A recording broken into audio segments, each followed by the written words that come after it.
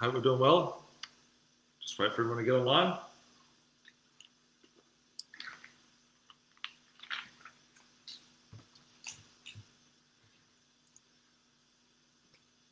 Looks like we're online, guys. Uh, thanks for tuning in for another Tuesday night.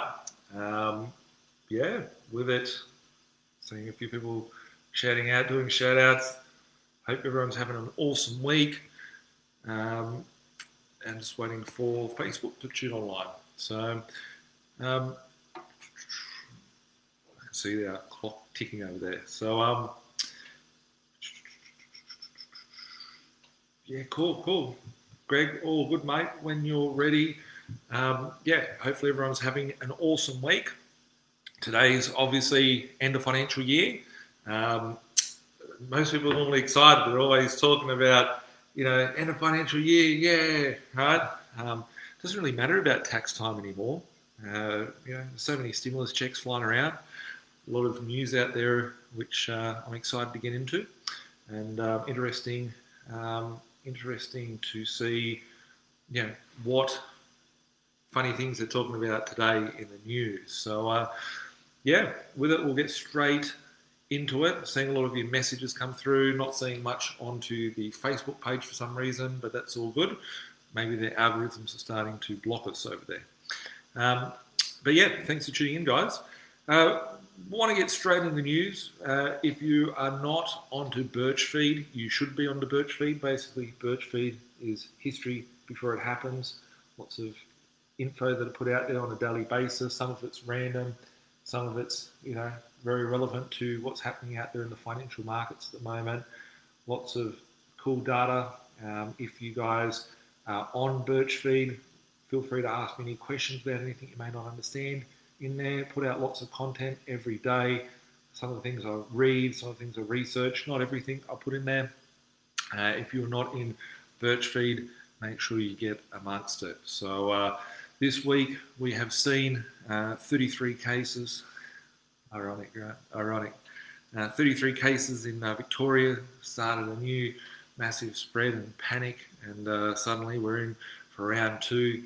Um, you know, totalitarian fascist sort of uh, Marxism sort of uh, you know agendas that are playing out at the moment. People will be under house arrest, etc., etc.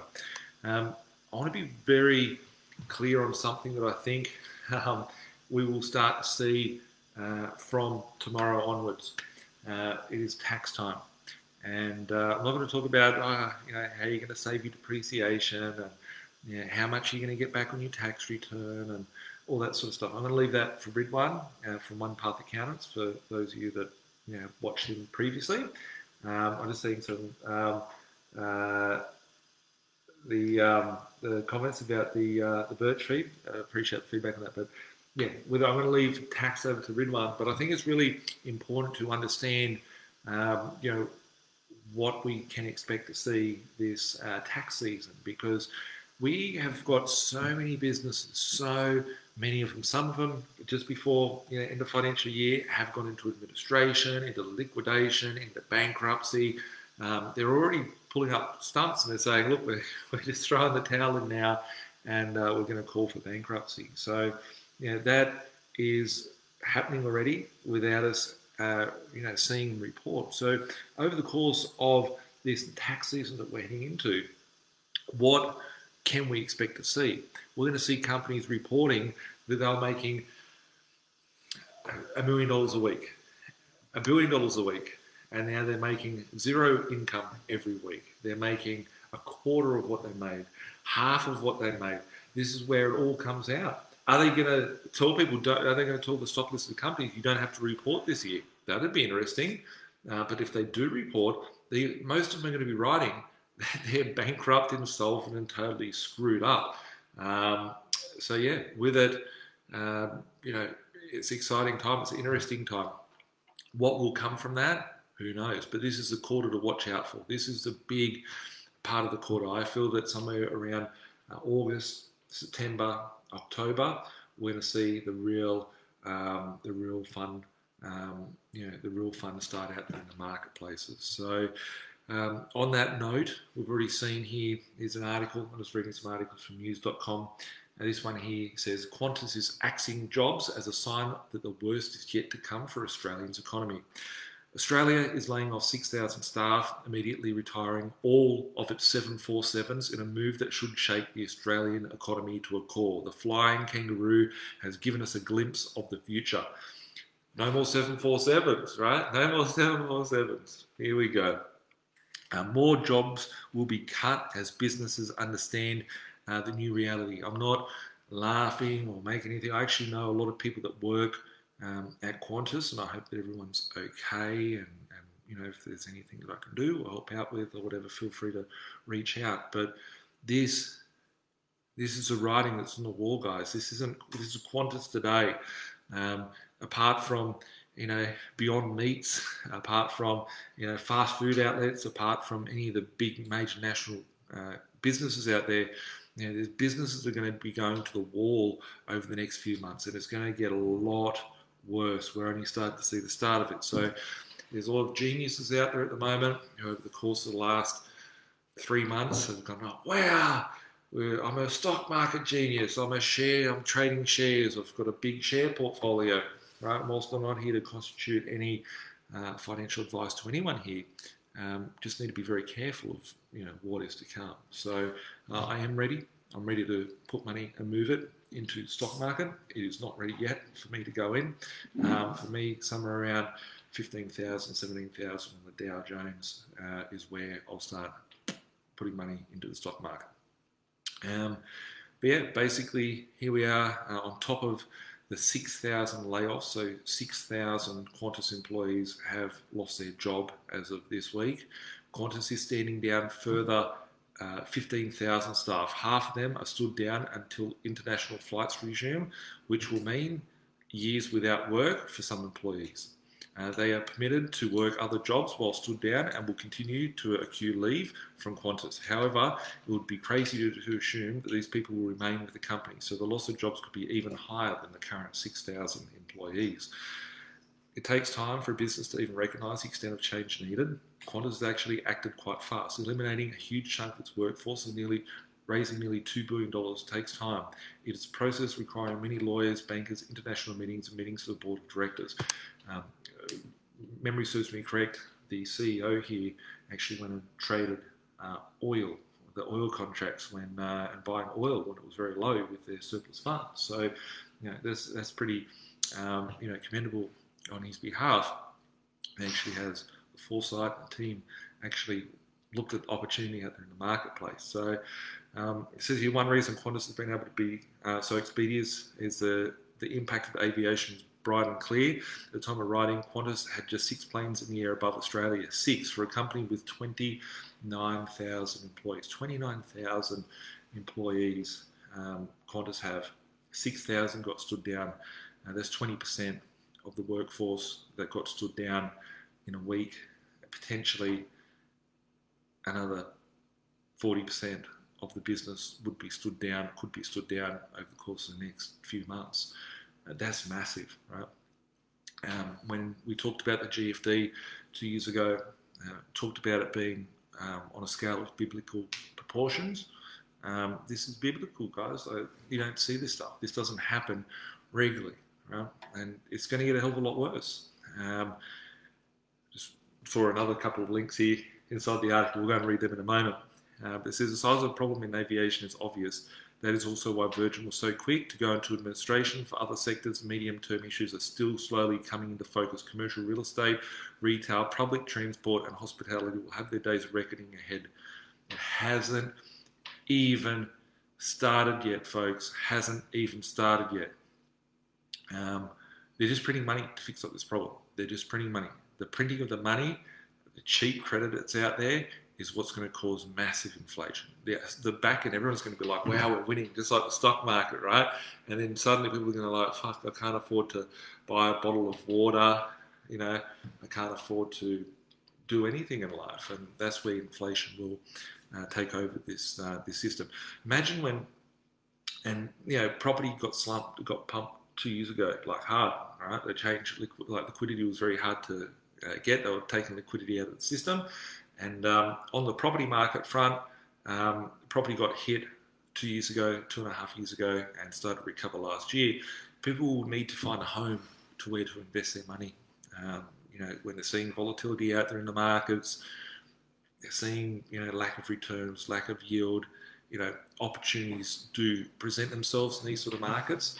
Um, is it the market's going to collapse? I wish the market would collapse. Everyone's like, oh, I'm waiting for the market to collapse. It's like, well, we'll be waiting a long time because there's a lot of stimulus going to the market to, to stop that from happening. Um, I think in some areas of the markets we will see recessionary indicators occur. That will probably be in the top end of town. But for affordable, uh, everyday bread and butter sort of real estate, the opportunities are out there, um, and they're, they're dry, they are drying up. I wish the market would collapse. If anyone wants to know my view, I wish the property market would drop by 50%, right? So I can go pick up more uh, stock on the cheap. Um, the IMF, which is the International Monetary Fund, uh, is now saying the pandemic hit global growth harder than expected, and that the expected bounce back is not going to plan. So we put in JobKeeper, universal basic income uh, to stop a recession. It's not going to plan. You're going to need more. Now, I remember a month ago or something, my mum said, Oh, watch the news, um, watch out. They're going to stop this and the economy is going to do this and this. I'm like, Mum, stop watching the news, right? it talks about removing JobKeeper, it talks about removing stimulus measures. The fact is, is that they're going to have to extend these. I've got more articles to talk about that in a moment. But um, goes on to say the recovery is projected to be more gradual than previously forecast. The fund wrote in the World Economic Outlook released on Tuesday. Um, nothing really else left in that article that's um, of interest. Um, I'm going to go to a random article that I saw here. Um, yeah, it says here did we cover this one last week? I don't, I don't think we did. I don't think we did. Experts predict economic bloodbath when JobKeeper, job seeker ends. Recession will get weirder despite hard times. Companies are now somehow going broke. Everything is topsy turvy, but we are just saving up, paying for later. Keep an eye on the ASIC insolvency database, and when I opened the check April statistics, I couldn't believe my eyes. April was a month of insane economic uncertainty and gross financial turbulence, but the number of business going broke went down, not up. We did actually read this last week. Um, my next um, talk, conversation, is um, looking at what Scott Morrison, ScaMo, has to say about extending stimulus packages. Uh, PM ScaMo uh, urged to deliver cash for families and to extend JobKeeper until Christmas. Hey, it's already Christmas, guys. We'll say it's Christmas in uh, July, right? It's July and it's fucking Christmas time, guys. It's Christmas. Opportunities that are out there. This is the opportunistic time, right? Uh, they will not be able to wind back these stimulus measures that they're putting in place, right? And the more they put in, the bigger the problem is going to get, right? The bigger the problem is going to get, the worse things are going to be, um, you know, for, for winding it back and, and, and, getting us back on course because they can't. The, the whole system, uh, monetary system, uh, the way that currency is floating around out there, the liquidity, um, it's on life support, it's in palliative care. We're going to lose. Um, we're going to lose the currency. We're going to lose the dollar. And, you know, is that going to happen in the next six months? It's not going to happen in the next six months. It's going to happen as they keep printing money, right? They're just going to keep printing money, stimulating the economy. Um, and as they print out all this currency, people are going to be fearful. People are going to be sitting on the sidelines. People are going to be holding back, and the velocity of money and the, the way that people are turning that money through the economy is going to slow down. Um, if you were on um, Birchfeed, you would see that in the 60s, Scrooge McDuck used to do education about how the velocity of money occurred in economics. But you wouldn't see that in the media now. Now it's controlling other uh, weirder agendas than teaching people on how currency works. But um, we're going to be in a point where the velocity will speed up later and we will lose our currency. I'm 100% confident. I put all my credibility on the line. Um, I've talked about this two, three years ago, I told everyone at the time, hyperinflation is way before, you know, we haven't even seen the deflationary period yet two years ago when I talked about it. Um, but hyperinflation is something that needs to be talked about at the moment because it's not going to happen today, but you know, two years, three years, four years down the track, five years down the track, in this decade, we will see a hyperinflation uh, erode our currency that we use at the moment, and we will lose our currency. And all the countries around the world will lose their uh, respective currencies they use. But you know, we're on our way for that. Uh, the savers will get wiped out.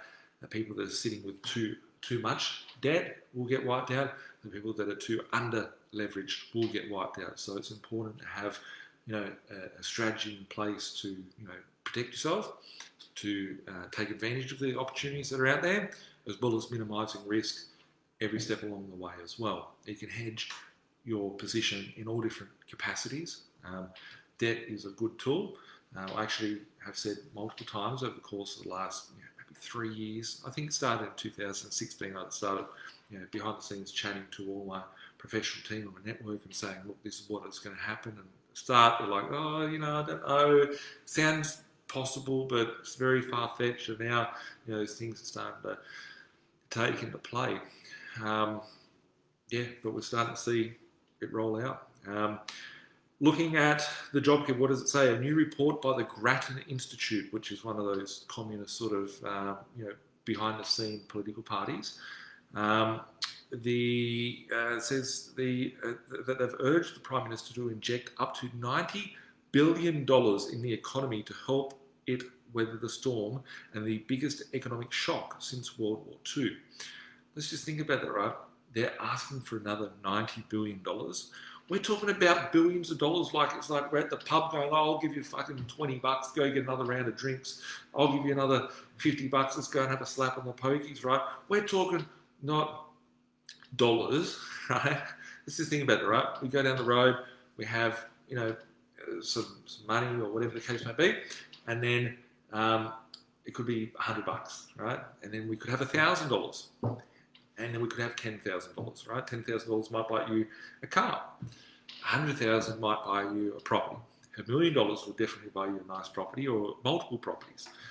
$10 million, $100 million, a billion dollars, $10 billion, $100 billion, half a trillion dollars.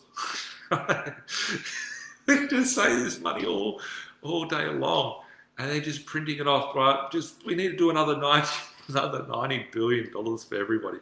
Who would have thought would live in this world? I remember as a kid, a millionaire was uh, was wealthy, and uh, yeah, a million bucks won't do much nowadays. Won't do much. Uh, might buy you like 15 big-size Toyotas, right?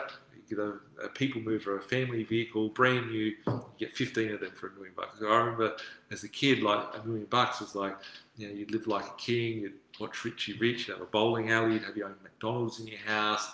The things are changing, right? And they're killing the currency. No one has a value towards it anymore. People do have a, a value for it at this period of time because people are desperate for money. They don't. They need hope. They need cash flow. They need money coming through. Um, some people will have weak hands, right? People will be forced to let go of their assets, unfortunately. People will be forced to, you know, sell stuff off, right? People will be forced to sell their Bitcoin in order to pay their bills, right? They'll be forced to sell their Bitcoin to pay their mortgage. They'll be forced to sell their house so they can feed the kids. Um, you know, we can see how that could uh, occur in the economy. But ultimately, as they print off all this money, right, people are just going to be like, fuck, I don't want this money. I'm just going to go and purchase some more assets or whatever the case may be. Um, at the Grattan Institute has urged Prime Minister to inject $90 billion, right? remembering that they've just put a half trillion dollars, and that's what they've discussed, and that's not including things like the home builder or any other you know commie sort of package that they've put out there for everybody. Um, it says uh, with the extra 90 billion that it would include an extension of JobKeeper with a new turnover test for some companies until Christmas. Christmas, so September, October, November, December, right? There's an extra three or four months that we're talking about for JobKeeper to be extended. This is free money for businesses, for people to keep employed, right?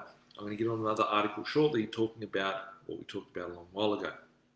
Um, JobKeeper was enacted for six months and is scheduled to wrap up upon the 27th of December, uh, but a universal cutoff is blunt, the Grattan uh, Institute reports.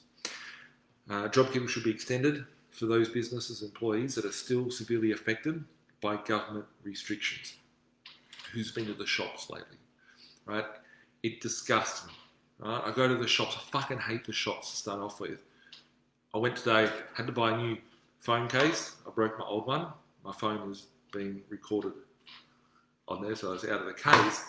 But I went to JB Hi-Fi, and I see all these people sitting there, some with masks hiding their face, fearing for the worst. Um, you know, there's a whole pile of people, they've got nothing to do, they've got no jobs. Some of the shops aren't even open. Um, the food courts are fucking miserable. People aren't earning a living. How are they going to pay their bills? How are people going to survive, right? This is a depression. It was a depression since the 11th of October 2018. It was recession at that point.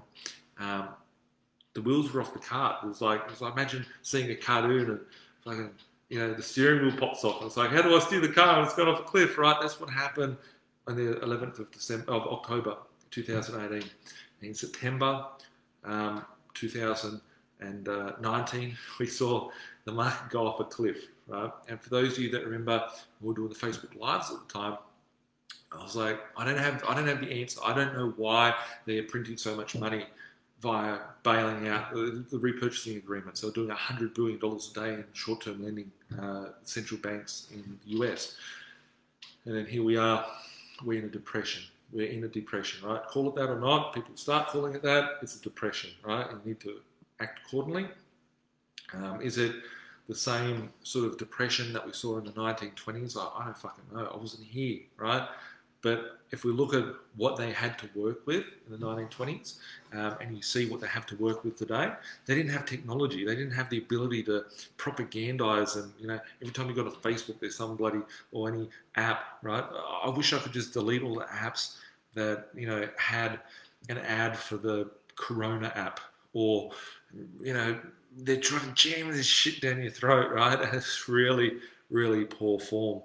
But you know in the 1920s, they didn't have the ability to just print more money. They used to that have to go, oh, we'll just you know kill the currency. Do you know why coins have the edges around them? Why they're like you know got the little lines around the outside edges? Because people used to shave the outside of the coins off and get a little shaving off them, and they'd have like a squashed edge or whatever. Um, and then they would go and melt that down, get that gold or silver, go make another coin or another sort of um, use that money and go make another sell it as a, as a, as a bit of gold. And um, it wasn't like what they've got today, right? Um, I think about you know the crypto markets. People ask me, you know, Bitcoin and Ethereum and EOS and Litecoin and Monero and Verge and Ripple and all those uh, cryptocurrencies. Going back ten years ago, right, they've built another liquidity system. If that was created from the system, right, whatever it is, it's a ballast. It's just another ballast that they can you know, have there to play with, right? That's why, you know, one of the things that attracts me to that. I'm not saying go buy crypto; uh, it's very volatile. Um, but yeah, with it, um, I actually sold. For those of you people ask me about crypto, right? Um, I sold a coin. I paid 600 bucks for it, maybe like three years ago. Um, I sold it for seven grand just for this one coin the other day, and uh, it wasn't that wasn't the price of the coin. Um, but I did sell that off because it was like, well, seven grand in my pocket. I only put 300 bucks in there going back, um, you know, three years ago or something like that. Um, I see there about XRP. I think that's the mark of the beast. So don't get me started on that. I don't like it at all. So you'll never convert me otherwise. It's not decentralized. That's why. But um, looking at you know how we can navigate through this time, um, I made a post on Birchfeed this morning. I, I, was awake at like five o'clock and I started throwing out stuff to, to the community. And um, yeah, with it, um, the war, right? Everyone goes World War Two, World War Three. What would World War Three? Everyone thinks it's missiles and fucking nuclear bombs and all that sort of stuff. World War Three is being played out on everybody at the moment right? It's psychological warfare, right? It's people that are being conditioned, being programmed. Go onto any news outlet, right? And you don't see, oh, look at this nice charitable event. This person's done this, this person's done that. It's all global corporations. It's all doom and gloom. Everyone's wanting to fucking throw themselves out the window from reading it. Um, yeah, there's massive manipulation and fear mongering out there in the media. People think, you know, the hate, the divide, you know, being, you know, whether it's sexist, racist, um, you know, whatever it is that people are, you know, trying to use to divide and conquer, it's working out there, and people are focusing on these things and not focusing on what's important, which is, you know, what's inside them.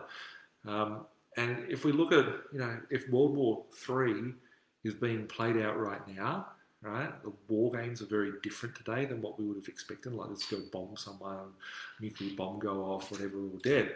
These uh, corporations these are entities, these are certain people, which you know are playing these, these mind games. And if we're looking, I'm not going to get too deep in there, but if we look at you know what we have as a difference in 2020 uh, to fight off a depression, um, it is very different, right? We can print money. So we, if we see someone in the 1920s that was starving, they were having to cross a border of a country. They were fleeing with like two kids attached to them, no food, starvation, no clothes, right? In this depression, people being locked up in their house, brainwashed with more Netflix. They've got the comforts, of everything, but it's a depression still. It's a depression. Depression is when you've got less and less money to, or currency or wealth to live from. Um, and we are all in this at the moment. And the only way for them to survive and push us through to the other side of this is by you know stimulating the economy so much that we will lose our currency. So you know, giving universal basic income such as JobKeeper. I said beforehand, everyone's fearful JobKeeper and JobKeeper and will it end? It will, may, potentially, could, who knows? I don't believe they will be able to because if the economy is completely fucked as it is, how's it going to be when they remove this? It's very, it would be very violent to take it out of the market. It would be aggressive, and um, yeah, obviously cause a lot of shock, which the, the market's not ready for. You go to the shops. Tell me what you see when you go to the shops. The markets, the, the, the retail sector is destroyed. Many sectors are destroyed, right? Tourism's destroyed. Retail's destroyed. Um, all different segments of the market are destroyed. And, you know, they're going to need to stimulate this. They're going to need to push through the next paradigm. But you'll have less rights. You'll have less you know, ability to move. You'll have less freedoms. You'll have less control of your own personal life. So just be mindful of it. Um, as I was reading beforehand, before I got excited, uh, on Friday, uh, the Prime Minister, the Prime Minister said uh, he accepted that many companies currently receiving JobKeeper had already bounced back in terms of revenue. I have no doubt that there are many businesses now, fortunately, who have moved back above that threshold. I suspect that's uh, absolutely the case, and I certainly hope it's uh, for their sake and their employers. But we're working under the arrangements we put in legislation, and we'll continue to do that in the current phase of this program. This program, this program Right? Who dictate the program? How come Scammo just come up with so much funds so magically, right? And he's like, oh, I've got this money. I've got a half a trillion dollars, more money that's ever been printed before, and I can just give it all to you, and I've taken a loan. Right? Wouldn't you think, oh, it could take months to pass through legislation, could do this, could do that, right? You know, it doesn't even matter about taxes anymore. Who gives a shit about a tax deduction? Taxpaying going to pay for this. Everybody's going to pay for it. They're going to pay for it with their freedom. They're going to pay for it with, like, we're entering into a socialist phase of our society. Um, oh, I must have something. Please, state give me, right? That's communism. That's how they fucking live in third world countries. That's how they live in communist states. So, just interesting. Um, Australian unions, here we go. Australian unions always uh, entertains me. Australia is heading uh, for a cliff where jobs will disappear and income slash uh, unless there is urgent action. Sign our petition demanding uh, the Scammo government extend JobKeeper um, and JobSeeker. The rate is now with the uh, Scammo uh, supplement. So just think about it, guys. Like we have now got 33 new cases in Victoria, right? 33. Go and Google up uh, 33 new cases in YouTube, right? 33 new with that word, with the number at the end of it, into YouTube and see how many countries and how many states all say the same, the same figure, right? Go figure it. It's just a question. I it interesting. But we've now got this second wave that's occurring, right? Does that mean everyone's going to be locked down in their house again? Who knows, right? The fear of it, people are fearful, right? They're like, oh, I don't want to spend any money. I don't want to do this. I don't want to do that. Oh, we can't go outdoors. Oh, Melbourne, it'll turn to Sydney. Um, my brother came in the office yesterday. He's like, oh, you should buy a toilet paper. I'm like, Stop watching TV, mate. Right? Um, it's people are being, you know, bought into this. People are being um, you know, feed into this, and you know, has ripple effects in our economy and in the community uh, as general is large. Um, it says here um, the fears that the triple whammy of the 1500 fortnight JobKeeper, the doubled 1100 job seeker payment and mortgage honeymoon for distressed homeowners all ending at the same time in late September could see unemployment spike and the economy hitting a fiscal cliff, right? I'm sure there's businesses out there where people are like, let's go buy a Lambo, right? Let's go and do this, let's go do that because they've got this extra revenue, right? It's going to be disastrous for a lot of people. It's going to be disastrous for a lot of people, a lot of businesses, a lot of jobs. Um, you know, if you're employed by someone, you should be looking at the business that you work for, questioning what could this business do in the future? Do I have the right job? Is there other opportunities out there in the market, right? Like, what will happen if something changes in the economy? What will happen? What's the, the key man risk in um, in this business that I'm working for? And they're things that you need to sort of look at as you know what is what is the risk surrounding your job? Do you have a secure job? You think you had a secure job? Um, people always want to travel, but Qantas is sacking you know 20% of the workforce and happy to sack another 60% of it, another 40%. Sorry.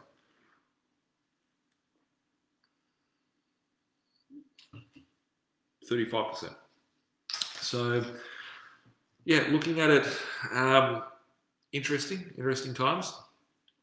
This is the most coolest article I've seen today. And this is an article from Forbes. Forbes. And it reads Los Angeles, uh, Atlanta, among, among cities joining coalition to test, to test universal basic income, that UBI, right? It's the uh, STD of the economic system, right? Uh, this is what we've been talking about. Talked about it three years ago. Universal basic income. Centrelink for everybody. Everybody's stuck with commie uh, currency that's coming through. So.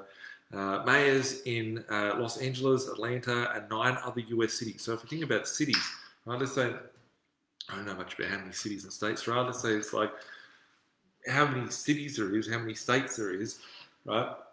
Is it that's eleven cities, right? Um, they said on Monday, today, they will work to launch universal basic income pilot programs, a growing sign that political leaders are beginning to take the idea of guaranteed income seriously in the wake of the scamdemic. Uh, key facts the mayors of Los Angeles, Oakland, California, Atlanta, Georgia, Tacoma, Washington, Newark, um, New Jersey, St. Paul, Minnesota, Jackson, Mississippi, Compton, California, Shreveport, Louisiana, Stockton, California have joined the mayors for guaranteed income, a coalition advocating for UBI policies, universal basic income, um, or having or the idea of giving out recurring cash payments to all individuals without any strings attached. Right? You can't have it. It's not sustainable. We are on a debt bender, right? We are on a bender with our currency, right? It's going to go off a fucking cliff. Debt will win. The assets will get inflated. That's how this ends. Having savings in the bank account, who cares about that, right? Your currency is worthless. The money you got in your bank is worthless. It's worthless. Um, interesting. Uh, Mayors for a uh, guaranteed rent, uh, guaranteed income was founded by Michael Tubbs, 29 year old Mayor Stockton, who launched one of the first guaranteed income pilots in the US last year, along with the Economic Security Project, a non-profit supporting the idea of creating income for all Americans. Through Coalition, we'll advocate collectively for guaranteed income and share information. Each city will launch their own pilot with separate funding streams, either from creating work, working group to find room in the city budget or by forming public-private partnerships. Communism. Um, crucial quote is taken that word with the number uh, where direct cash payments are part of the solution offered by the federal government. So I just thought the time was right to organise mayors around the idea because we live in a time of scamdemics. Uh, Tubbs said if it's not the corona scam this year, it will be an earthquake next year, a hurricane the year after, or fires. Folks need to build economic resilience in our cities. Very interesting, guys. Very, very interesting stuff. Um, we're going to see more stimulus packages. We're going to see more volatility out in the markets this next quarter. Giving the heads up, right? Like the last quarter was great. This quarter is going to be, you know, something to watch out for. So just be cautious. Will it happen? Who knows? Right? I'm not a time traveler. May it happen? I'm putting my money on. So um, everything's sort of pointing towards um, that occurring. So on that note, guys, going to go to some of your questions. I'm going to go to Facebook.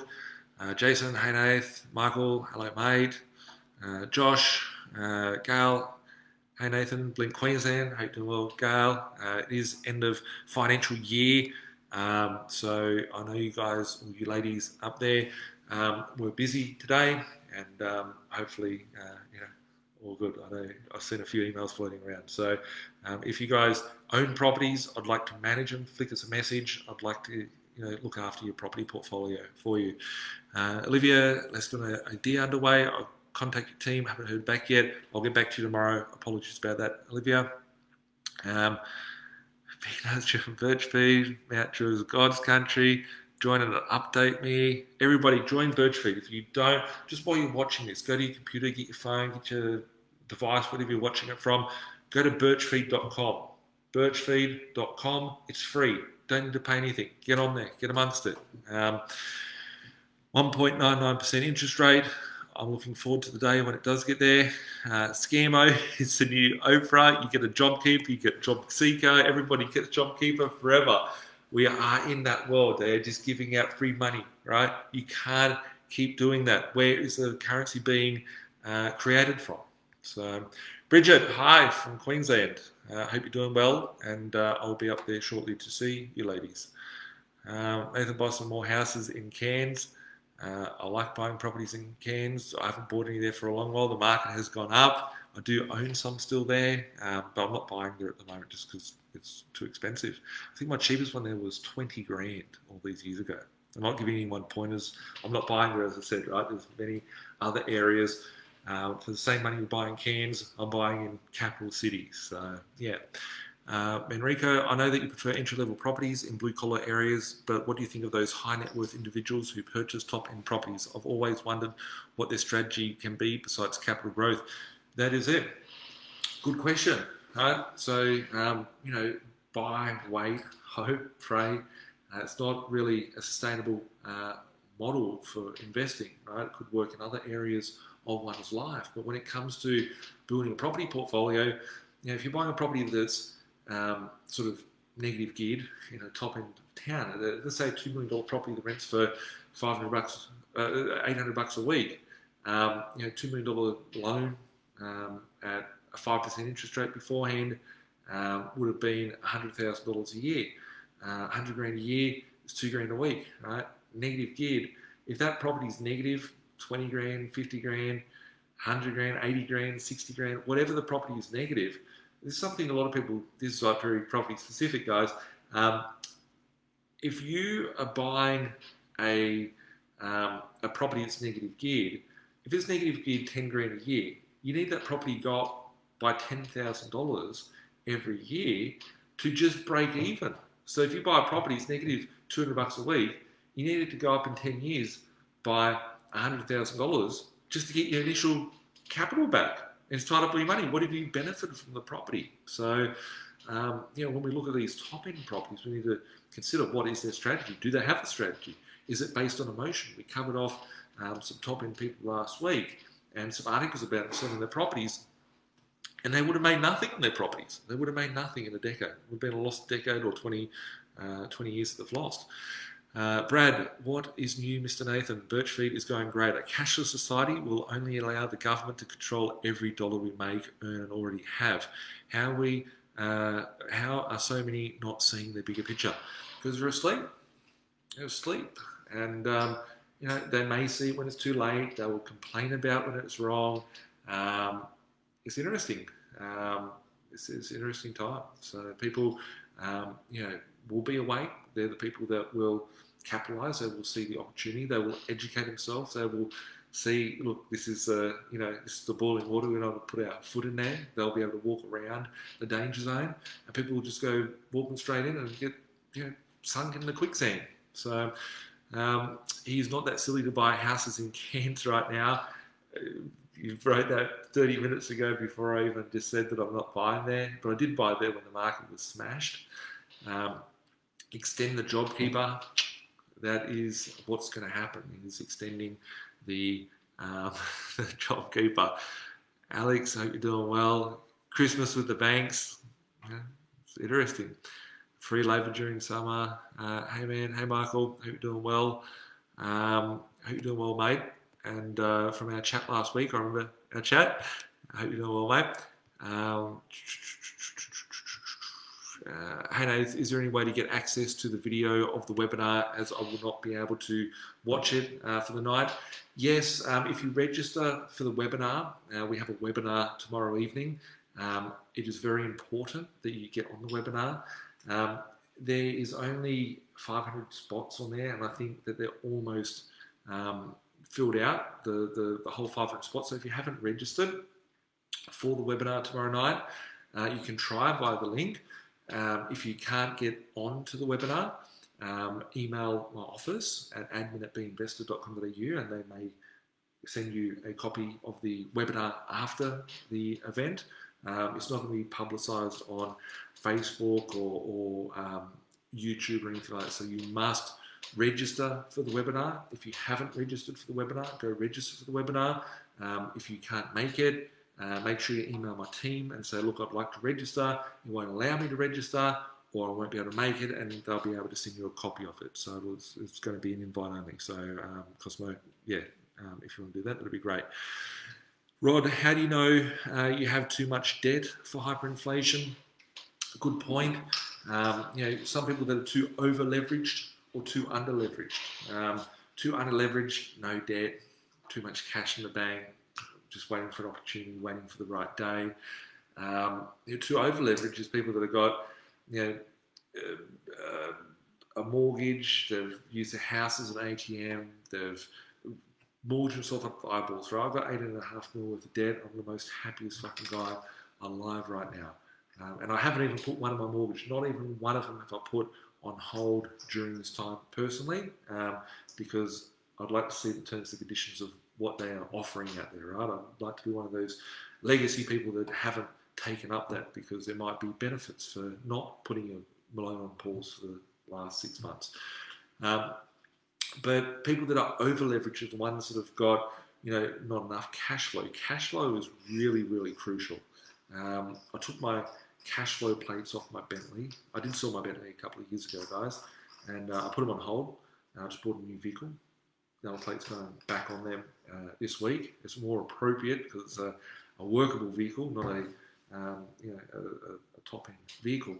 Um, cash flow. I got that cash flow number plate on a blue Ford Falcon. It was my first car that I had it on. Um, and it was just a, a Ford Falcon with old plate cash flow. Um, cash flow is the most important thing uh, during this period of time. Having money coming into your bank account and you being able to use that money for whatever you want it to be. I keep calling it money just because most people are referencing money as money, but it's actually just a currency. I want to get that the currency flowing into my bank account and being able to purchase and acquire new assets and you know be able to live from that. So um, you know a lot of people are stretched very thinly, and to say a half a million dollars is too much, a million dollars is too much, right? As I said, eighteen and a half million dollars, and I don't even feel it because the cash flow is reoccurring. um, those that are too far stretched beyond their budgets, beyond their means. They know who they are, right? These people are the ones that have got five car repayments, they've got credit cards, they've got afterpay. Um, you know, if you're doing afterpay, you know, reconsider your spending habits, right? I'm sorry, I'm not trying to offend anybody here. Um, apologies if I do. Uh, not really sorry because I'm trying to help you get a better sort of mindset upon it. Uh, but people that are using Afterpay, I went and bought jeans the other week, and I fucking hate getting clothes. That's why I try and just keep the same sort of outfit and know the brands and whatever I'm buying and just put them on. Um, but I tried these pants on, and in the back of the change room doors because you can't afford it Afterpay. I'm like, you can't afford fucking $50 pair of jeans, a $100 pair of jeans, a fucking $50 shirt, whatever it is. Don't buy a shirt, right? But there's people that have got I have to pay for this, I have to pay for that, right? And these, you know, that is possibly uh, over leveraging, overstretching yourself, right? Having debt that's bringing in cash flow, debt that's building up your net worth position, um, you know, or people that are just stuck in a debt rut and you just have to get debt for everything. Um, that's you know when you're too over leveraged. So it's not a matter of how much debt. If I could have a billion dollars worth of debt and I could have you know, half half a billion dollars a year cash flow coming through, well then the billion dollars worth of debt's nothing because the cash flow is coming through is going to uh, cover the costs of, of holding that. So yeah, um, that's just my my two my, my two cents on it. Good tongue twisted. Um, Mark, we are losing value in the AUD to gold at a decent rate. We need to be diversified, i.e., uh, US assets, gold as a hedge.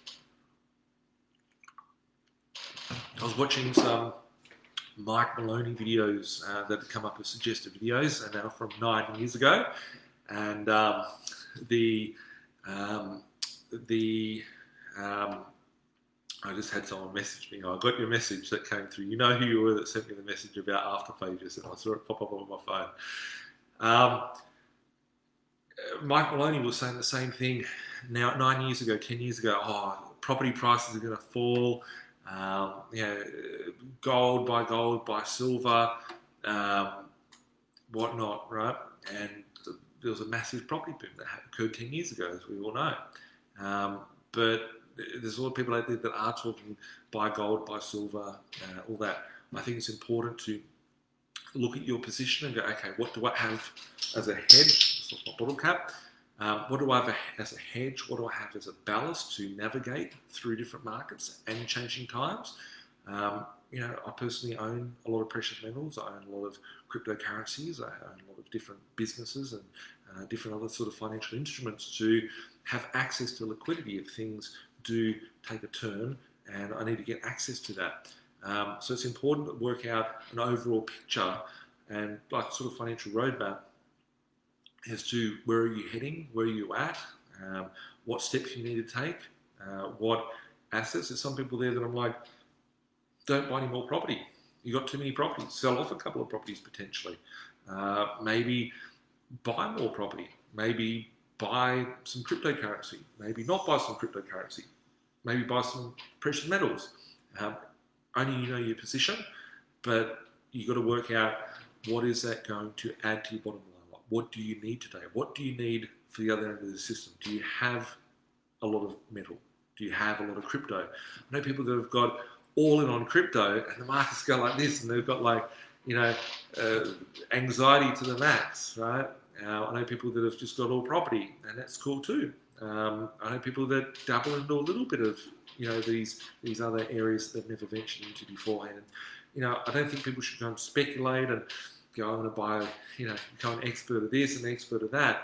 I think it's important to go, okay, you know, have I fulfilled the goals in this segment of my portfolio? Have I got, you know, my property goals? Have I got my share portfolio? Have I got my cash? Have I got, you know, what is your position looking like? So but you're right, uh, we are losing value in the Aussie dollar at the moment. Uh, I believe that we will see a loss in the US dollar at some point along the track. Um, but it appears that if we keep going on the same trajectory as we are, we're seeing globally US dollar is tearing ahead um, as the other currencies are, are, falling behind. And you know, looking at economic models, right, it's, it's hard to tell the levers that are being pulled, whether the Aussie dollar will die, whether the Canadian dollar will die, whether the euro will die. I reckon the euro will die the next decade, completely gone. Uh, will the Aussie dollar survive? Probably, but it will be a different format uh, of how it is. Um, yeah, so very interesting. Keep an eye on the currency conversion rates.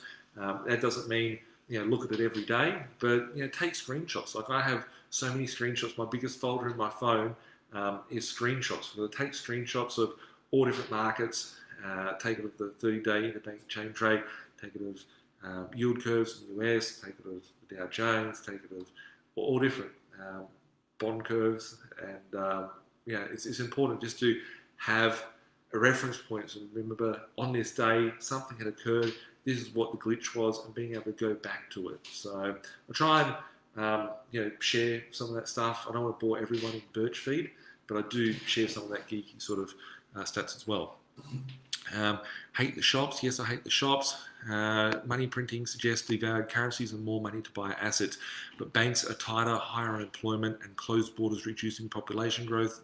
Uh, this suggests uh, not the property boom that's being suggested. Comments. Good question, uh, Matt. Um, yeah, so if there's no people coming into the country, then how can we, you know, grow our population? Um, bringing people in the country, still people migrating right? There's people that are that I know that are trying to get into the country. There's people, there's actual incentives in different locations um, to have migration occur. So uh, if we look back in uh, 2008, 2009, there was some uh, you know incentives for people to come to Australia. Uh, those incentives are probably double what they were back in 2008, 2009. I'm not going to go into it into too much detail, um, however, there is some massive, massive incentives. I talked about that with my uh, clients that I work with one on one. You know, as part of my IP, um, intellectual property. I, uh, I don't kind of just throw it all around out there. Um, but yeah, with it, there is strong immigration out there. Don't be fooled by that. Um, and there's a lot of uh, you know pent up demand. Just because we haven't got the borders open today doesn't mean in 12 months' time, 24 months' time that people won't want to come here, and it doesn't mean that you know every other country that's annoyed with their government or the way they were handled throughout this time or whatever like stuff this. I'm leaving my country. I'm coming to Australia. You know, let's move here. Let's make a new life for ourselves. Um, there, there's a very uh, strong crowd of those people as well that want to come here. So I'm just noticing over here on Instagram, I'm going to lose a lot of. Uh, shortly, this is going to drop out for our one hour, so I'm going to just read a couple of questions in here, just to share the love. Uh, Birchie, what's cracking? Sorry, been stuck on the paperwork. That's cool, mate. When you're ready, back into resource towns. No, um, I buy anywhere, whenever, but um, yeah, I, I, I, purchase all around the country. Uh, is a Perth Mint, the best uh, to buy gold. I have bought from them. Uh, it doesn't mean that I like buying from them. Uh, just remembering that they're a government, they hold the crest of the Australian logo. Um, so, yeah, with it, they will know what they've sent you. Uh, every time I've taken a delivery has been to someone else, so they don't like people knowing where, what, how, all that sort of stuff. Um, there is other bullion dealers out there. Um, I used to buy from a bullion dealer over in Perth, but they um, closed down about a year ago. Um, and uh, i think I may have found them. There's another bullion dealer which looks very similar to them over there. There's also um, you know ABC Bullion. Um, there's a lot of reputable bullion companies out there uh, where you can buy gold and silver. But there is a lot of uh, there is a lack of uh, physical supply. Found a pen on the tiles. Um, there is a lack of physical um, metal out there to be delivered. So it doesn't mean that there's a shortage of it, just means that there's a lack of uh, stock because of high demand at the moment and some of the, the mines and processing times have been delayed. So don't get caught up in the fact that no one's got it, it's going to it's gonna boom in, in price because uh, it's all controlled on the paper markets uh, by the COMEX. So, um, and all the contracts there. Um, what's up, Nathan? Watching. Uh, you love the cases? Yes, I find it very amusing that uh, 33, 33, 33, 33. It's a very important number uh, in the world to some people. Uh, Nathan, when are you going to grow a mullet? Uh, I haven't got a mullet at the moment. But um, I did have a mullet back in about 2010. Uh, I have had it a few times, not just the V-shaped one. I had like the full-on mullet. That's pretty cool. I thought it would get the chicks. They don't like it so much, I've been told, but I do. I would grow the mullet if I could be bothered. But uh, business at the front, party at the back. Thanks for your time today. Pleasure, Bob. Um, I need a job. Let's look for jobs. Let's look for opportunity, guys. I think this time more so than any other time in, in history, right? If you know someone that's been laid off, if you we're seeing it, we're physically seeing it. Um, you know, where people are losing their jobs, losing their source of income, getting themselves in a lot more debt, uh, just to stay alive, to feed the family, to keep a roof over their head, and, all that sort of stuff.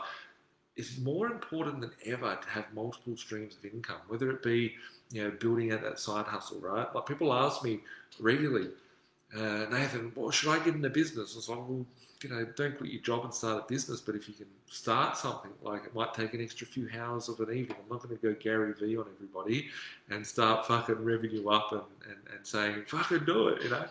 But, um, you know, how much does it cost to set up a business? How much does it cost to set up a Facebook page? How much does it cost to build a website? How much does it cost to um, set up an Amazon store, right? People saying, "Oh, should I?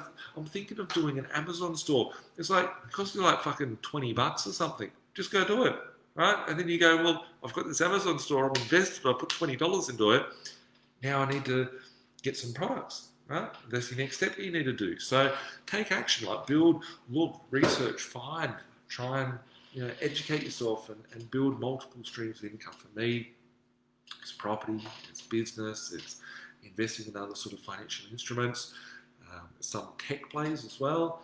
Um, but yeah, try and build more than one income stream. So that's, that's what's important. And it, has it, been very obvious, very obvious. That's the first time I've said it since when uh, Corona started, is that you should be looking at this point in time going, fuck, like you know, people have literally devoted their whole life to hop on a train or a bus, go to work, um, have the shits for their job and then devote their life to their job, and then the next minute they suddenly don't have a job and all that sort of stuff. So, um, yeah. Uh, but I hope I get my documents done. Sooner the better. The market is moving out there. So, um, how do you get a loan when you have a part-time job? I'm 18 and have 70 grand to work with. Should reach out to my office, man. Reach out to my office. Um, I know people that are on part time that do get loans. Uh, you know, getting a loan for the first property, you know, depending on what a part time rate is, right? Like I've seen people on twenty grand a year get a property. I've seen people on thirty grand a year get a property. I've seen people on forty grand get a property. A lot of people on forty grand get properties. Fifty grand, very much so you can get properties. So, you know, important to get the right team around you. Uh, if you need help with that, I do um, run a, a, large scale finance company, and we help people, you know, work out a, a debt strategy to accumulate uh, assets on that front. So 70 grand, that's really cool, right? Like 18 saves up 70 grand. If you can do it, a lot of other people watching this video should be doing it, may not be doing it. I'm not saying everyone's got the same position or opportunities, but good work, man. Good work. Um, I see that Instagram's going to die off, and I'm going to have to get another uh, live stream going in a moment. But um, yeah, gone through the questions. So when that turns off, I'm going to go back to Facebook. I'm going to start another live and get back to you guys in a moment. Uh, the reason why it dies over there on Instagram is it only lasts for an hour. We've gone over the hour time frame. Um, Sam, would you uh, only lease to Aussie permanent residents and citizens, tenants, seeing that they are only ones that can get government benefits? High risk, in my opinion, leasing to non-PR citizens as a uh, as six-month rent eviction freeze is still in place. What is your thoughts on squatter scatter gun approach? 9EG submit 100 lowball offers. Um, I think the nine may have been a full stop or something there. Um, submit 800 lowball offers on properties and hope to get one or two accepted. Uh, any updates with organise a helicopter $130 Groupon ride? Just going to make sure Fond the Fondler does not come. Look, it would be fun to do the helicopter ride, so uh, I'll leave that with you, Sam, if you want to organise that. Um, I suppose I can uh, come along at some point for a helicopter ride.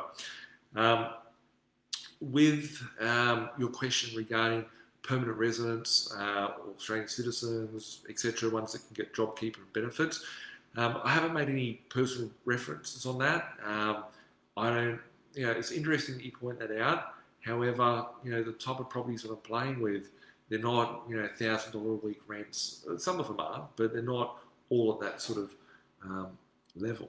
I'm just going to do another live here for our friends on Instagram.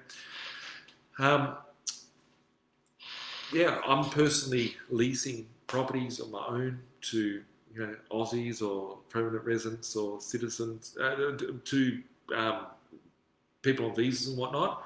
Um, yeah, I've got no issues with that. Uh, ultimately, you want to make sure that you've got all your insurances in place, you've done all your checks, you've got everything sort of uh, in line and kosher to be able to um, get take an insurance claim should you need to and take the appropriate steps to be able to do that. The six month ban that's on at the moment, will that occur? Will that be here in another three months? Right, we're already three months into that six month ban. Just remember that, guys. The six month uh, rule of not being able to kick out a, a tenant, um, you know, that doesn't necessarily mean that you know if we're three months into that, well, there's only three months left potentially on that on that note. Um, what is my thoughts on the scattergun approach? So putting offers, 100 offers each week on the properties. Um, I have specific requirements. Uh, I don't go and waste my time by putting low offers because time is energy. Energy is important. Time is important. Um, I could be doing better things with my offers. So I spend a lot of time uh, researching, understanding areas. I know areas that I've never even been to off the back of my hand, just using technology um, in every randomest most corner of this country. So you told me suburbs, I'll be like, I know that place. I've been there virtually. Um, so when I'm putting offers in on properties, a lot of the time it's via relationships that I've built over the years, uh, networking with agents and whatnot. Um, but if I'm looking for properties out there, if the property's you know 300,000, I'm offering 150. I'd never do that because it's just wasting everybody's time. Um, if the owner has placed the property on the market for 300 offering 150, it's wasting my time. The owner's a dickhead. Um, I'd rather work with good people in order to get the results. Um, so I know what I'm looking for. I, I, spend probably about three hours a day still troweling um, the internet just for any corner that may have been missed or I've got about 100 different search results that are saved in my um, search bars and I have to go through every single property. I literally physically go through all of them and I've got processes and systems and procedures in place in order to uh, be on top of all my offers. I could have hundreds, like literally like 500, 800, 1,000 offers out at any one point in time. I've actually um, got a spreadsheet system that works to keep on top of all my offers to see you know what the property was first listed for, what it's you know being offered for at the moment, where my offers out, what the agent's feedback was, etc. So um, yeah, I don't just go and scatter offers everywhere. Uh, what would you do with 200 grand offset against a principal place of residence? Uh, good question, Judy. Um, just being really clear to everybody here now that we've got people back on Instagram. Uh, I'm not your financial advisor. This isn't financial advice, and uh, I can't give you financial advice on that front.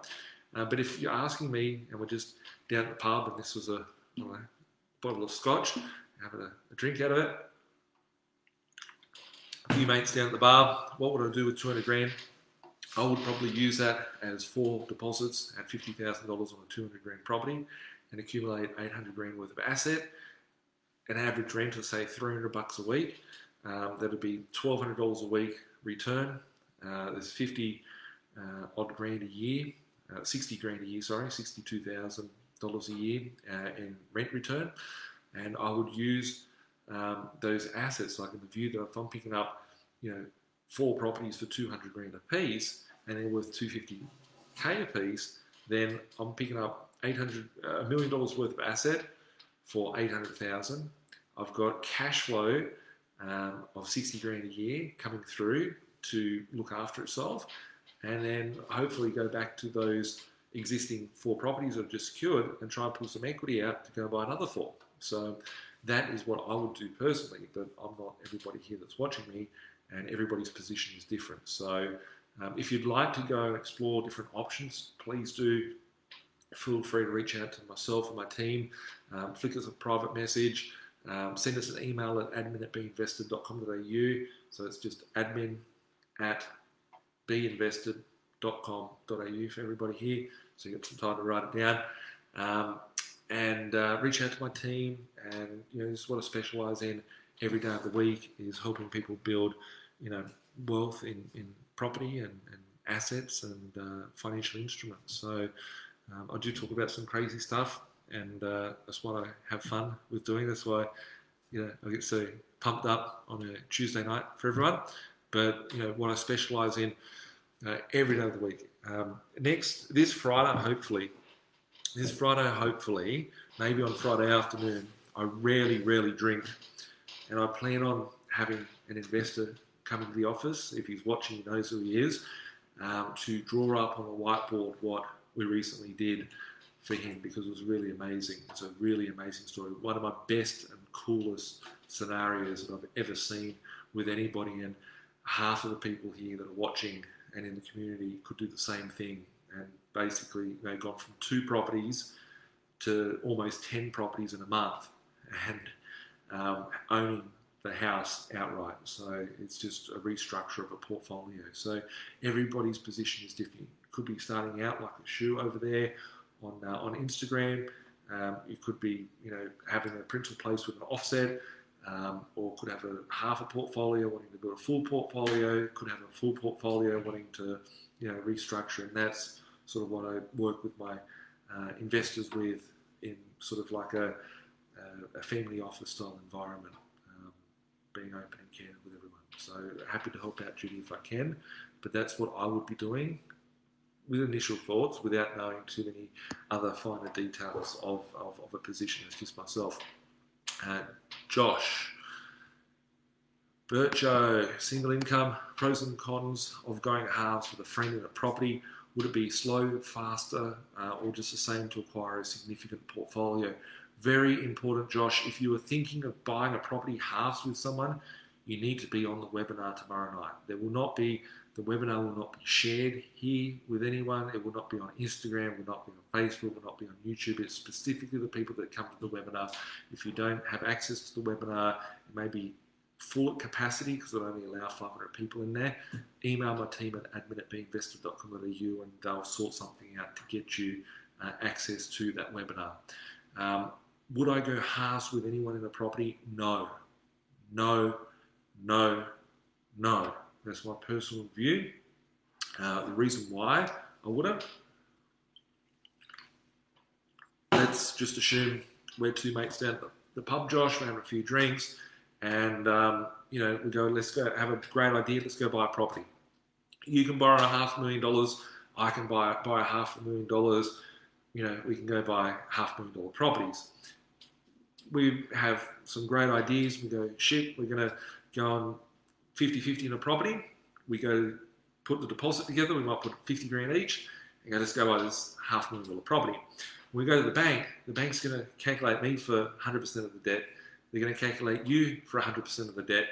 So where you could personally go and buy yourself a half mil property, and I could go buy myself a half mil property, we would then control a million dollars worth of property. Then only, you know, that would be the case, right? If we were to go halves on that property, then the bank would take my serviceability and your serviceability, and we would be shit out of luck to get anything else. So, uh, whenever I see someone that's gone halves on the property with someone, I'm like, fuck, like you've just really messed up your finance position. So, before you do anything, if you are thinking of you know, buying a property, important to find out what your finance position is like. Um, there is other, you know, things to consider. I've got bottle of water. For those of you that are thinking I've got vodka in my bottle, I'll just open it up. Um, yeah, with it, um, it would hold you back. It would hold someone back to be able to do that. So, no financial advice. You need to speak to the right team of people. Um, I have the people that you could speak to, so hit, hit us up. Um, happy to help out. The other thing to consider, I've seen this happen beforehand is that you could have two mates now. Uh, they're mates when they're 25, going out, getting blind, picking up some chicks, all sounds cool. And then when they're 30, they might have two different lifestyles. Right? They may not even like each other. They're not mates anymore. Um, they one might get married and one may want to keep traveling and partying. You've got two different lifestyles. The one that's traveling and partying may want the cash. The one that wants to settle down may not have the cash and wants to hold on to the asset. It could bring like rifts in front of um, family members or whatever. If you go on a house with a family member, uh, you could have a parent um, and a child. The child may want to hold on to the asset. The parent may want to, um, you know, dispose of the assets so they can retire or reduce debt or whatever the case may be. And it, you know, the goals aren't always aligned. So personally, I don't own any properties with anybody. Uh, I've owned maybe less than I can count on a hand properties, um, and it's always been just because I couldn't finance it, so I've used someone else's servicing or whatever, and I said, "Here's the cash, let's go halves in the deal," and, and, and done it that way. Um, Josh also asked, "How do you figure um, if an older suburb has upside for growth if it's already fully established comparing to a new location that has new subdivisions and knockdown rebuild scenarios. P.S. I'm looking uh, in working class suburbs. Uh, love your work. Keep it up. Uh, keep, keep it stiff. Try to. Um, with it, look, every area is different. You need to look at the demographic of what does the area involve, right? Like how um, what's the income going to support? I actually asked someone this last night uh, on a map session. I was like, what would the area um, look like? Like, how could an area double? What's the average income in the area, right? It doesn't matter if it's new or old. Like, there's so many older suburbs that go up so much higher than uh, these newer greenfield because with a new greenfield estate, let's say you've got an estate that's three years old and you've got an estate that's new. Uh, for the same price difference, someone would go for a new property over the old property. So um, I, I, don't take that into consideration. Like, um, you need to look at like for like in certain markets. And I don't think that a greenfield site will go up higher than an established site. I don't think an established site will go up higher than an infill site. Um, the greenfield site, the um, the newer estates that are out there, um, generally like there's a lot of you know overcapitalized. Like people are wanting to pay more because they're glossy and all that. It's new and all that sort of stuff. So the growth may not be so great in those areas. Um, yep, my parents just got uh, locked in their house in Melbourne, back in lockdown for a month at least. It's crazy. Uh, I've got some mates that are here in Sydney at the moment uh, from Melbourne, and um, they're going back. And why do you want to go to the Communist Party of Victoria? So yeah, it's um, it's interesting. Dave, the currency is cooked. The whole system's cooked. The whole system's cooked. Um, but you're right, the currency's screwed. Matt, uh, hi Nathan, keen to book in a map session with you. When are you booked up to? I'm not too sure. You need to check out with my office, Matt. Um, I look forward to chatting with you and, and, helping you. Um, for those of you that don't know, map session is a, a com- like conversation with yourself, work out strategy, work out you know where you are, where you're trying to go, what we need to do to help get you there, uh, what opportunities there are, all that sort of stuff. Basically, spending an hour with Birchie. So, um, yeah, um, I don't know. You'd have to check with my office. Like, it is booked up for like months in advance. Um, however, there is like points where people you know fall off. They they can't attend to their appointment. Something comes or what comes up or whatever. So there could be possibility of getting something in the in the next month or six weeks or so. So, um, but yeah, just reach out to the office um, and, and and they'll book it in. I look forward to chatting to you soon, mate. Um, Jay, uh, bail in. Thoughts on keeping liquidity? Um, they could bail in. What you've got to remember, guys, is that when you have your money in a bank or your currency in a bank, right? Try and get your currency out. Try and get your money out of the bank, right? They give you a million questions, they can't get it, etc., etc. Um, the money is stuck in the bank. It's not your money. You are accredited to the bank. The bank folded up. You would be standing in line with all the other creditors in order to uh, get a percentage of whatever's left over for you to, to, to, to, to get your money back. So, uh, personally, I've always got my money out there working. I've out there hustling and uh, trying to work on my next deal. I don't want to have money in the bank. I'm all about the cash flow. So I try and get the cash flow in. I go and dump it in a new asset. It generates more cash flow. More cash flow comes next month. I take that cash flow. I go buy more assets. Um, it's not always about buying the assets. Sometimes it's improving assets. It's you know improving the position. So yeah, I'll try and get that cash out as quick as it goes into the bank account. Uh, Daniel, uh, when would rates go negative? Uh, would it be at the end of this year? Would the RBA stay true to the word uh, of at least two years at no change? the RBA, you can't trust shit. You can't trust the RBA for anything. They said the interest rates were going to be moving up. They said monetary policy will be heading up, not down. Next minute, like three months later, interest rates went down and they've come down um, about 500% since they said that statement within 12 months. Um, I predicted that by the end of this financial year, i.e., tomorrow, that we would see negative interest rates. Uh, based on everything that had occurred previously, for me to be able to prognosticate uh, interest rates in the future and the, the monetary policy in the future uh, over the course of the last decade indicated that would have occurred. Um, however, all the parameters off the, the fundamentals are off the table due to the level of manipulation in the money supply out there at the moment. So um, technically, we should be. Um, the cash rate, the real cash rate, is uh, zero uh, percent, but we have to put something on there, so it's at 25 basis points at the RBA at the moment. Um, and you know, can they let it go negative? They very much well can.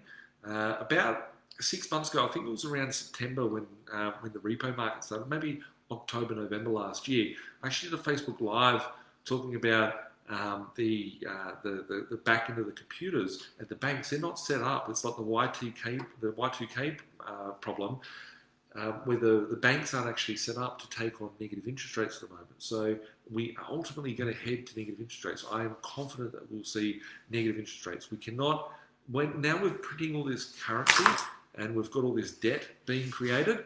Um, how are we going to pay it back? If there's ever a chance to pay it back, it would be by making interest rates negative, but keeping monetary policy very tight.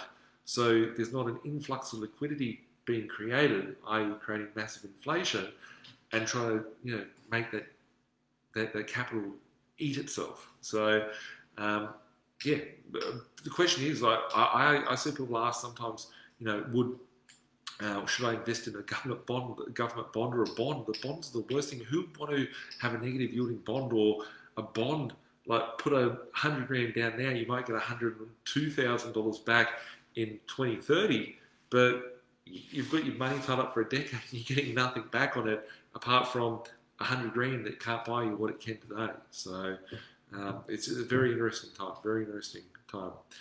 Um, Tommy, uh, how you doing, bro? Uh, my neighbour Carlos is here with me again. Hey, Carlos. Um, um uh, he showed me the Lane Street Media, yep. Uh, reported today that rental properties are empty and rents are reducing by up to 40% due to lack of international students and job losses, creating a nightmare for landlords. He wants to know if this will start uh, be short-term or long-term pain. I remember back my first uh, rental property, which was in Western Sydney, back in 2003. Uh, I thought, you know, I want to be a property investor. Real estate agent seemed cool. I want to be a real estate agent. And my first job was out in property management in, uh, in Western Sydney. And um, at the time, like properties were sitting vacant for like three months, four months. You had to give like one week, two week, three week rent for free uh, to try and lease these things. And I mean like a brand new unit that rent for 180 bucks a week with, you know, sit there for months. Um, the thing is, is that you know, that was short term, right? By 2006, 2007, the rents were like 350 bucks a week. So whatever we're seeing at the moment, that's the opportunity, right? The opportunity. You can look at it and be like, oh, things are really bad or whatever. There could be a few people hurting. That's the opportunity. Go and slap around. You drop the rent a little bit. There's always going to be a person to move into something at the right price. I think in some areas, which the, the mainstream media may be commenting on there, which is that you know in a city in a specific suburb. Um, and when I'm saying these suburbs, like I've got some mates that live in Chinatown and in, in Haymarket and whatnot, and they have other properties that they lease out via Airbnb, right? And those properties, no one's renting properties for Airbnb. They're all shit scared at the moment. So those properties has been an oversupply, but they're all being dumped on the market at the moment, and there's a lot of fear out there. Um, yeah, it, it could cause a, a short term. It's not a long term trend, right? Once uh, people feel confident again. Once people start coming, it could be 12 months' time. There may be a shortage of um, you know Airbnbs out there, so people may be starting to rent these things out again and doing all that. So it's a whole other kettle of fish. I don't do that. I don't like it. Um, but that's the opportunity, right? Like the, the, the, currently the banks are saying, look, don't have to pay your mortgage. You can put it on hold if you're struggling. Uh, that could be extended for another six months or 12 months. Interest rates are being held low. They're not dropping interest rates to fucking quarter of a percent um, due to the fact that you know we just want to drop it so everyone can have a, a good old time and have money. They're dropping it due to pressures in the marketplace and it's important to find opportunity. And you know what I'm talking about, Tommy, with like some properties you could pick up for like 155,000, they rent for 300 bucks a week. Um, those markets aren't going to cop that same effect. So the market is making a change for the whole market, but some markets will severely benefit. Um, and they're the markets that I'm interested in. There are opportunities. Like if I was looking to spend a million dollars on a property and I went to go buy one of these units, and you know I could have a bit of extra kick in, you know, kicking the owner while they're down or whatever, um, the opportunity could be there too. So just depending on what your strategy is. Um, but I'm loving it out there, and I, from the types of rentals that you know we've been playing with, um, I haven't seen any sort of downfall in that type of space at this point in time, and, and you know I'm excited by that. So it's great. Uh, don't they want the loss for personal income tax purposes? I'm not too sure what you mean by that, Chris. Uh, apologies, mate, but I think it was already a message here from 40 minutes ago. Um, Corey, where do you see the Aussie dollar going down or up in the next year or so?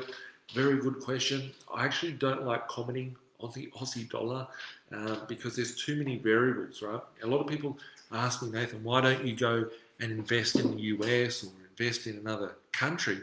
Um, when you're investing in a different country, you're not just investing into, oh, I've got a property in Sydney and I've got a property in New York or property in China or in America or wherever. You're investing in their law system, their finance system, their structuring, um, their, their, tax system. Um, most importantly, you're hedging a currency. So let's say, for example, someone has a property in the US and the dollar goes down by half, but the property goes up, you could technically see your property double, but it could be worth the same amount in the local currency. So you're hedging certain things. Um, there are too many variables to, you know, commentate on that. Right at this point in time, Australia is staying pretty strong. If we print off lots more money, um, we could uh, see our dollar fall. Uh, if we don't print off much more money and the US gets itself into trouble, we could see the US dollar uh, slide against the Aussie dollar, pushing the Aussie dollar up. So um, there's always a question, right? Is it the Aussie dollar going up or is it the US dollar dying? Right? There's the other side of the coin because there's two sides to any coin, obviously. But um, I don't like to comment on that. I think we're going to see a very choppy ride. Uh, my thoughts would be is that it would stay within a band range. Sometimes we'll see it drop real low. Um, I sometimes have to pay people in other currencies for certain services or whatever uh, throughout my businesses. Um, and when I pay them and they send their bill, I'm like, a couple of months ago when everything turned to shit for everyone, I was like sitting there going, this is exchange rate has dropped like 5%, right? And 5% on, uh, you know, a large amount of like 10 grand or something like that, it, it adds up. And it's like, fuck, that was more expensive, right? The person on the other end ain't receiving any more money. It's just costing me more money in our local currency here. So, um, yeah, there's something to, to watch out for. But we quickly saw that turn around um, with, you know, the US changing their monetary policy in the back end as well. Um, Chris Morals to buy after uh, Afterpay shares, not payment plans. exactly. Um, we've all seen what's happened to Afterpay um, and what's happened to uh, other um, sort of companies that are like it. Are we going to see every company go up like that? Right? We've seen MySpace and Facebook. We've seen Google and Alta Vista back in the 90s. Um, you know, there is opportunities out there. Um, wish I bought some, but be interested to see if they'll crash in years to come. Good point, Josh. Hope you're doing well, bro. Um, imagine buying Afterpay shares with Afterpay. That would be pretty funny. Um, loving it. Thanks, Keith. Uh, wow. Um, do you live? Uh, do alive on that, mate. Friday sounds amazing. Well done to the investor. It's a really cool story, right? That the story I told you guys about beforehand. Um, it's not hundred percent locked in um, that, that, I'm going to be able to do that. But if I do, I'll let you guys know pre prior. Um, it is really my most favorite deal. Like it is the most. It's not a deal per se. It's a structure. It's been the most favorite transaction I've ever done. I'll remember that forever. Um, and I had a lot of help from the team to be able to pull it off. It was basically changing a car's engine whilst the car's driving down the freeway is what uh, we are able to do for this client. So um, he's got a really cool story. So I, I look forward to, you know, sharing with you guys um, what um, what his journey was with that because it's a really cool strategy. Um, Steve, hope you're doing well, mate. Um, if going halves is so bad, then why does it work for a marriage couple or de facto? Are the rules different for those situations? Correct. Um, so when we were talking beforehand about you know the, the, the problem with going halves with someone, um, if you're in a marriage situation, uh, you may be using two sets of income to service the debt anyway. So depends how the loan is structured. Uh, so you could buy two independent portfolios, or you could buy one together. Um, but generally, they're you know sort of halving your expenses and all that sort of stuff. So um, yeah, it depends on the situation and how it's structured. Um, but yeah, with it, I see uh, couples which um, I'm like can't you know let's say for instance you've got a block of four units, four units would be commercial, but if someone bought two and another person bought two, technically that that could possibly go through. However, if we um, if you have the the two people buying the four properties, it wouldn't go through. But to buy them separately, you can't do that um, just due to the fact that I feel like I'm sign language here. Um, due to the fact that they might need the bank might need to take both servicing for both applications. So sometimes the servicing is needed. It's more of a technical question on that front, um, and that would be the importance of tomorrow night's webinar. Um, Steve, if you're going to be there uh, on the webinar, um, it'd be a very good question to ask Rose tomorrow night. Uh, it's going to be a webinar tomorrow night on financing and structuring. Everybody has to register for that. Uh, flick an email to admin at binvested.com.au because the registration I think is maxed out um, and they'll be able to get you access to uh, the webinar. But um, obviously on that example, you know, there's many variables and no financial advice to everyone. But yeah.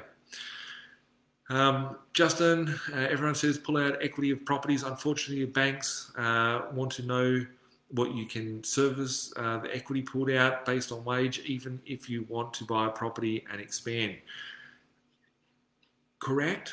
Um, but there becomes a point, right? I know a lot of people that two years ago couldn't service due to the fact that the bank's servicing, like for example, the big four were basing servicing on 7.25% interest rates. Now that it's gone down to, I don't know what it's like, five and a half, let's call it, right? Um, they may not have serviced beforehand on the back end calculator, but they may service now. If interest rates keep going down, the barrier of entry to get into finance becomes easier. Um, you could see you know, a lot more people that couldn't service, that want to service, and want to buy, be able to get back into the market. So uh, don't don't think it's all over um, until you know things things do change. Right, the lower the interest rates go, um, at negative interest rates, everybody can uh, can afford property. Um, I know that people will probably haters will probably see this and cut little segments out, but yeah. Uh, Amanda, buying property ownership structure, private name, could you talk about? Um, it's different for everybody. Um, it's probably more of an accountant sort of question. Um, I see a lot of people that build larger property portfolios do buy them under their personal name. Like when you're buying them under a trust, there's a lot of tax benefits that get trapped inside that trust. Um, you create new taxes like land taxes. If you, let's say for instance, someone doesn't own any property, they're buying in Sydney and they're buying it under a trust, they're going to pay land tax now from day dot. If you're buying on any personal name, you get a land tax free threshold. So there's pros and cons to put under a trust or not.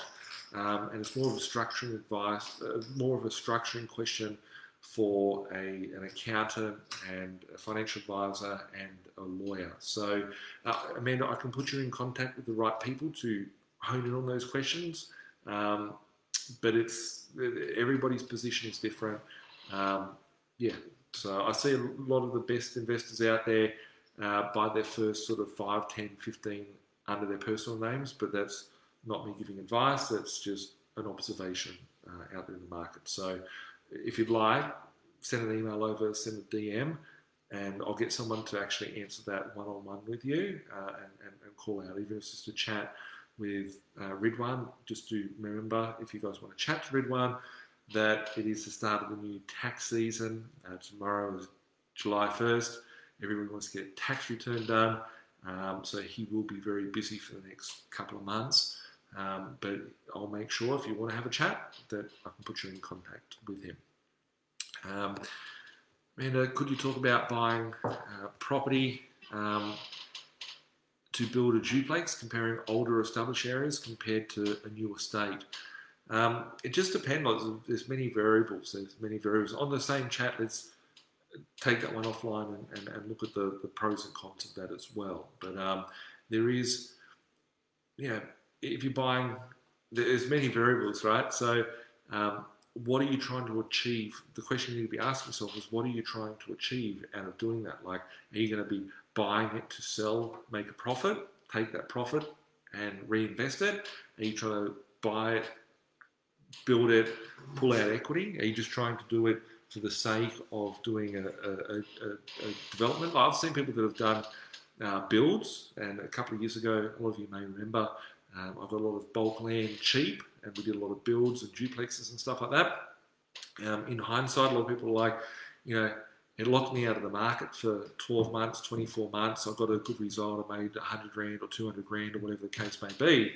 Um, however, you know, I could have done other stuff, and I like to remind them that, you know, I'm happy that they made a couple of hundred grand when the property market was going like this, um, but the locking themselves out of the market in a boom it may be not advantageous. So I guess your overall strategy should be more what is the bigger picture and how is that duplex or the build going to help you get to your end goal. So um, this is something that I talk a lot about in map sessions with people, and I'll just touch on it very you know, loosely. Um, is that you need to always question yourself: this decision that I'm going to make now right? Whether it be an acquisition, whether it be a tax decision, whether it be a finance decision, whether it be a legal decision, whatever the decision that you're going to make right now, right? I'm just pretending this is a chessboard here, and this is a chess piece that's going on, right? Um, is how is that decision going to help me get me closer to my goal or further away from my goal? And that's you know how does that build and how does that you know duplex build or whatever fit in line uh, with your goals. So, um, as for new estate, older, uh, where's the profit going to come from? Are you going to make more profit in the older? Are you going to make more profit in the newer? They're the, the, the final question. So, I, I just answered it um, from my, my view on that front, Amanda. Um, thanks for the questions coming through. Uh, Chris recently bought a townhouse, will end up be cash flow positive five to seven grand uh, end of year after depreciation. Looks like on paper it will be negative six to seven grand. Do you think that's enough cash flow uh, to go again for a second one? Lots of um, finer details once again, Chris. What you've got to look at is that if it's getting too negative on paper, is it going to be uh, impacting your servicing for you to build a larger property? Portfolio. So you need to look at you know, after all expenses. So when I look at a property, I want to know that the rent is covering not just the mortgage component. I want to make sure that the rent is covering the mortgage, the council, the water, the insurance, the agent fees, strata fees. I want to make sure that all the associated costs are covered. And then I know that when I've done all my cash flows, I want to know how the back end of the banks will view that property going into my portfolio or into one of my investors' portfolios. So you need to understand a little bit about the finance perspective of what the bank and what each bank's lending criteria will be like to be able to fit that asset into the overall picture because two or three of those properties may impact you from being able to get to four and five and six um, you may need a mixture of different types of assets to help you sort of get there. Um, the webinar tomorrow night will be talking a lot more about that, so it'll probably be a good question for tomorrow night's webinar. If you're not in there, make sure you do get amongst the, uh, the webinar tomorrow night. You have to register, email our team, admin at binvested.com.au. I think that it's um, completely full and um, we'll have to add people in manually potentially because the webinars only hold 500 people. Um, but I happy that's sort of stuff that I cover in map sessions as well. So um, Zlat, Zlate, apologies if I didn't get the, the pronunciation right. Um, hey Nathan, what is your thought on fixing interest rate as opposed to variable rates given the current cash and printing and debt being created, possibility of rates increasing as opposed to decreasing so banks can recoup costs? Uh, none of my rates are fixed at this point in time. There will be a point where I will fix my rates. Um, I think for me personally, it would be a very silly decision. Um, that's not something I'm doing at the moment, um, but everybody's position is different. If you'd like, um, tomorrow night's webinar is all, all going to be about uh, finance, but if you'd like um, to reach out to my team, I can have one of my finance strategists overview your position and work out a strategy for the debt accumulation and the debt consolidation phase. So, um, yeah, for a lot of you that may or may not know, I run a finance company, um, specialise in investor finance to be able to help investors build their portfolios out. Um, the accumulation of debt is very crucial.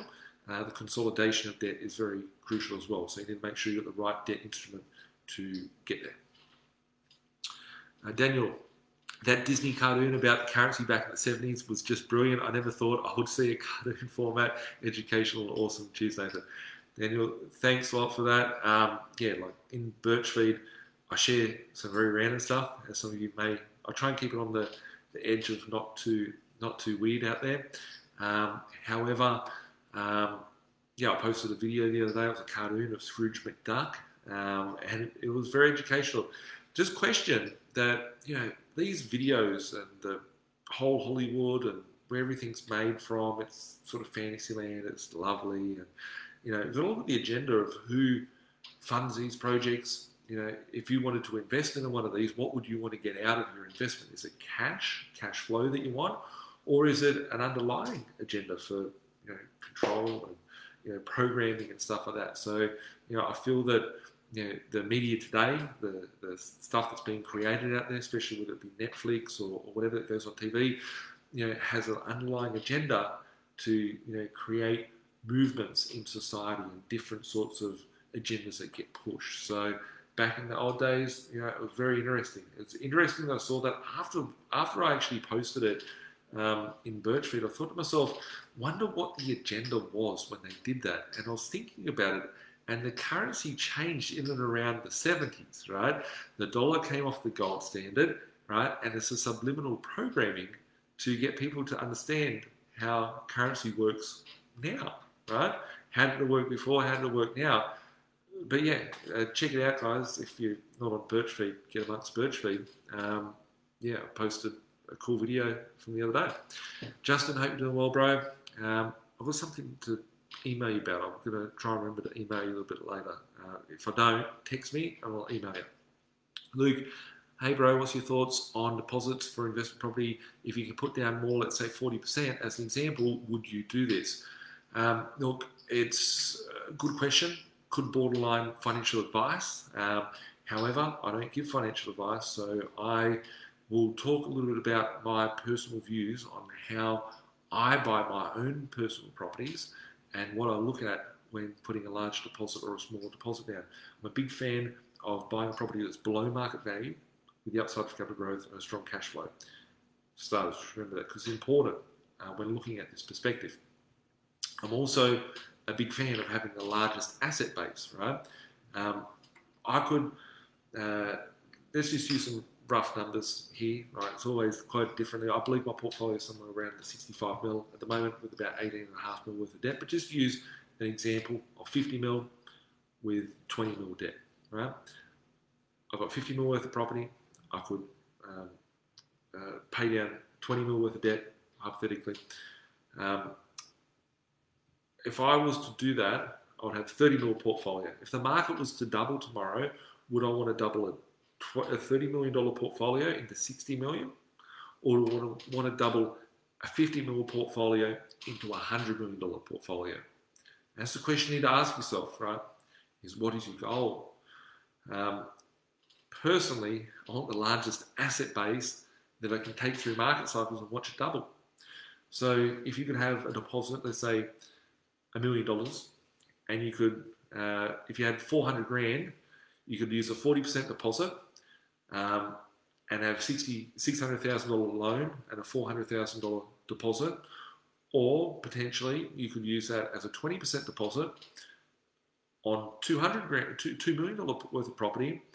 The question you need to ask yourself is would I want to double a million dollars into 2 million when the market doubles, or do I want to double $2 million into $4 million? They're the questions that you need to be asking yourself when making those decisions. Obviously, I'm no financial advisor, and certainly I'm not giving financial advice to anyone here. Uh, Emilio, Nathan, in your mind, what would be a decent achievable interest rate for an interest-only investment loan? Um, ideally, you know, somewhere around two percent later. Um, I have seen people getting you know three percent, high twos, low threes. Um, if you'd like to send a, a, message or a private message or an email over, uh, I can have one of my finance uh, strategists to have a look at your position and see if we can get a cheaper interest rate. I've literally seen people with portfolio of like a million dollars worth of debt or two million dollars worth of debt save like 20 grand, 30 grand a year from just restructuring their debt. So don't just think, oh, I'm screwed at the moment, I can't do this or I can't do that. There's opportunities out there. You want to be looking at what you can do, especially at this point in time, to um, you know minimize my expenses and maximize cash flow. So uh, ideally, you know, somewhere in the twos, could be in the low threes, depending on your position, depending on the banks. Um, but feel free to reach out to my team. Um, you know, I didn't get 200 properties for no reason or by uh, chance. It came from strategy. Um, these are the same people that have you know been around me and helped uh, you know my investors as well as myself build our portfolios. Um, last one is Dave. Looking forward to my first property with you, mate. I'm going to send you an email a little bit later on this evening. Um, look forward to helping you kick ass and, and smash those goals, mate. So um, yeah, I'll be in touch very shortly. Haven't had a chance to even look at my emails today. So um, on that note, I don't think we've got too many questions here um, from Instagram. I've got a couple here. I'm gonna uh, just one here that I haven't read yet. Uh, Adam, uh, how does one find out the existing expenses on a property, strata, council rates, etc.? Good question. Always ask the real estate agent. Ask them. Please provide me. I'm thinking of buying the property. I need to know what are the council rates, what are the water, what are the strata. They've got a duty of care to give you information and sort of substantiate it as well. You can say, look, that's cool, sounds great. Just before I buy the property, can I get a copy of the council rate, copy of the strata, whatever? Um, ask the agent. They're, they're the ones that want to sell you the property, so make them go and obtain the information for you to be able to make an educated decision to buy the property.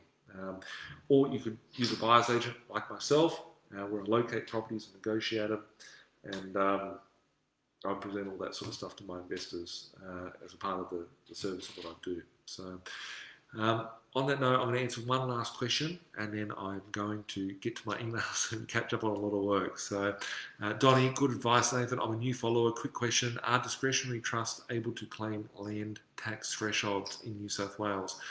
Um, that would be a question for Ridwan. If you'd like to, Donny, um, just flick uh, a, a, just a private message in here with your best contact number, um, and I'll get a free 15-minute chat um, with the hottest uh, tax strategist uh, out there in the marketplace when it comes to uh, properties and structuring property portfolios, and he can answer that. I don't believe so. Um,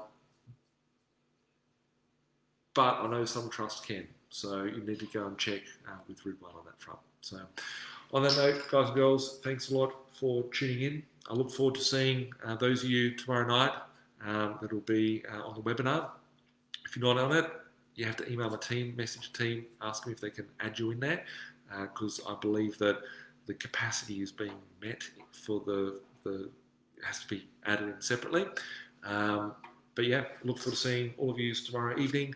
Keep being awesome. Uh, if I don't see you tomorrow evening or you don't see me tomorrow evening, I'll be back here next Tuesday to have chats about all things uh, property investing or anything wacky that you want to chat about as well. So keep being awesome, guys. Stay safe.